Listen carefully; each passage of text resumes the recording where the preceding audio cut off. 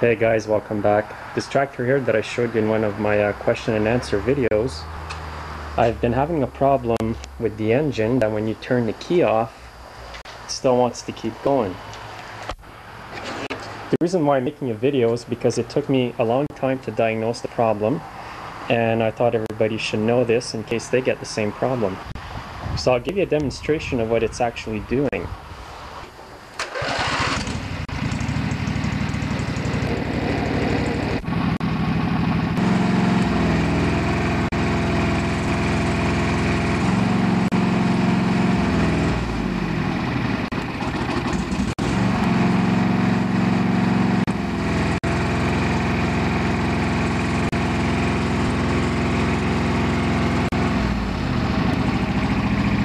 It's running with the key off.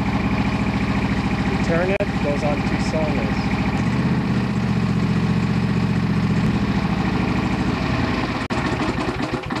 Then eventually it'll stop when it feels like to, but sometimes it won't stop at all. So that's a bit of a danger there. This wire here goes to a solenoid on the carburetor which shuts a valve off when you turn the key off. So this works.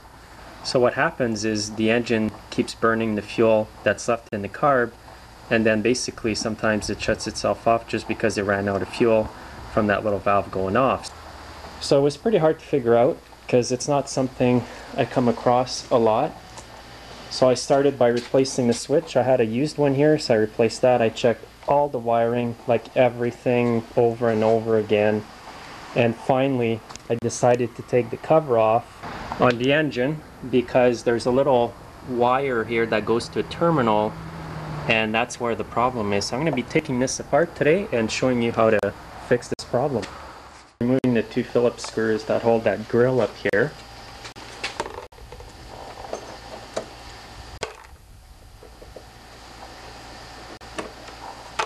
It's just going to come out. You can pry it out like this. Next, I'm just going to remove the fuel pump from the bracket on the cowling. And it's a 10 millimeter socket that you will use for that. You don't need to disconnect the fuel lines. I'm just basically removing the fuel pump from the bracket so I can access the bolts on the bracket to remove the cowling. So now you're going to need to remove the two 13 millimeter bolts there. The 10 millimeter bolt here, the other 10 millimeter bolt by the oil dipstick. This other 13 millimeter bolt here and this 10 millimeter bolt there and over here and then the cowling's going to come off.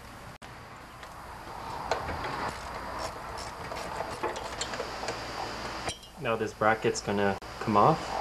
Also have to remove the four 5 16 bolts on top of this grill here.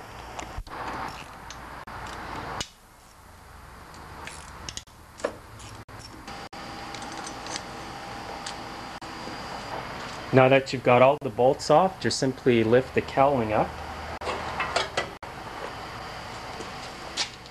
what the problem is. This little diode here, that's the little diode which has the tab that the wire connects on to the other side here and that's for turning the ignition off when you're done uh, using the machine. I realized when I took it apart that somebody had disconnected this wire here but if you connect it back it will just run on one cylinder and I'll show you that. So probably what they did is they disconnected it and just kept it like that. can hear it's running on one.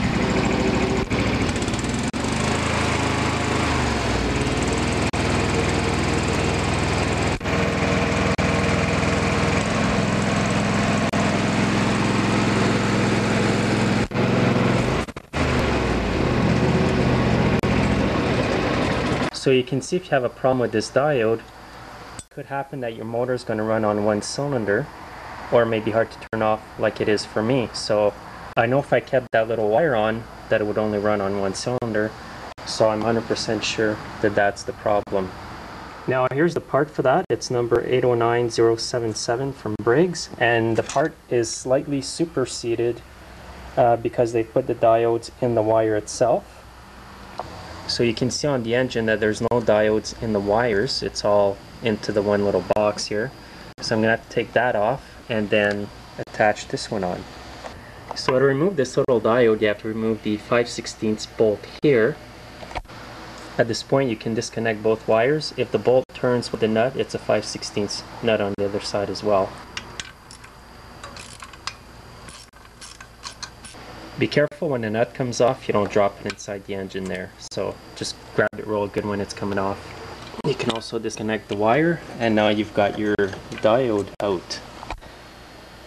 So that's the culprit here, just a little wee part like that, superseded to this. Now I read the instructions in the parts bag there and it said to drill the hole in the cowling to a quarter inch. It's about 3 sixteenths right now. So I'm just going to drill that out.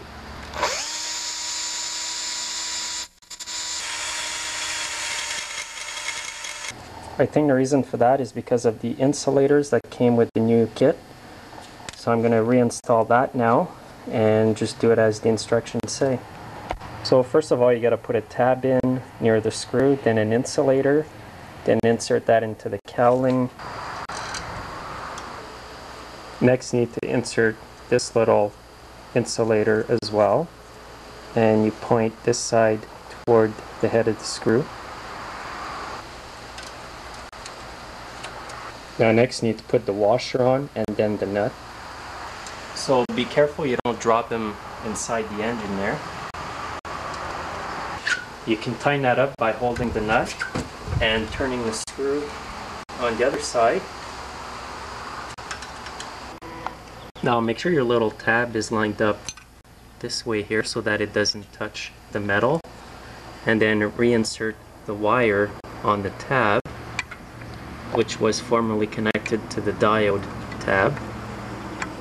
Now what we need to do is to remove the wires from the coils and there'll be two of them.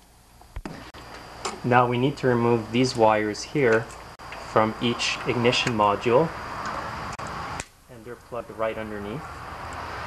Now the other ignition module, the wire is right underneath over here, so just work it back and disconnect it from here as well.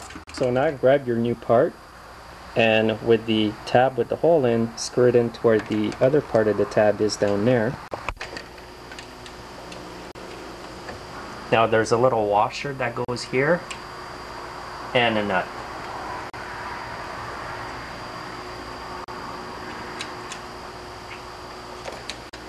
Again, make sure you don't drop that down there.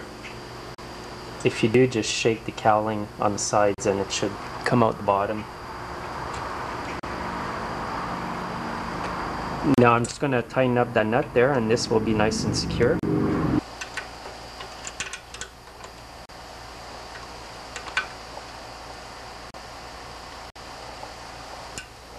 So now these wires one of them goes to the first ignition module and the second one goes to the second ignition module and underneath here there's a little tab for this wire to go on as well. So you got to work the wire underneath all this all the way there. Make sure it's not rubbing on the flywheel. So as you can see there's tabs right underneath the coils there. And just plug it in there. Make sure it's pushed in all the way because there's a lot of vibration. So now run the second wire underneath the first ignition module. It's a bit of a pain in the butt, but once you get it in there, it's done. So I've got both wires. It was a bit difficult getting the second wire into the second ignition module there. But at this point, it's safe to try it out and see if it works.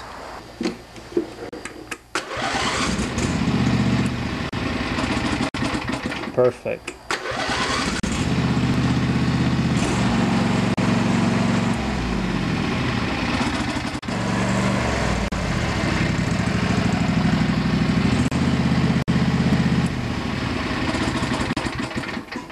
So now it runs good and it turns off when it should. So I'm just going to reassemble the cowling and that job's done. So now just reinsert your cowling over here. If you have the part from the air filter, make sure it goes into there.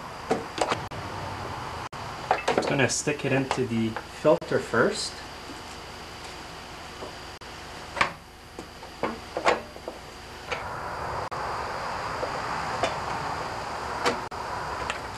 And just clip this grommet back into the shroud here. That's the breather tube.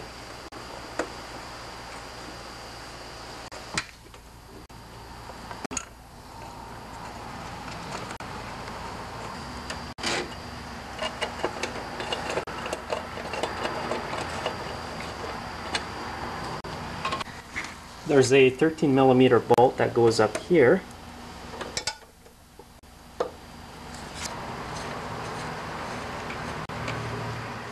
Now the fuel pump bracket goes like this.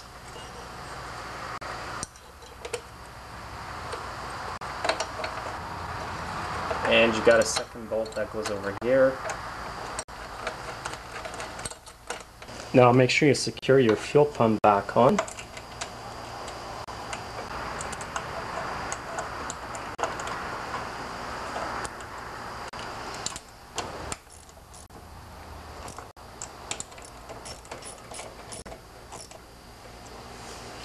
Now the little grill goes in like that. And you line up the two holes and put the two Phillips screws there. And last, the flywheel cover.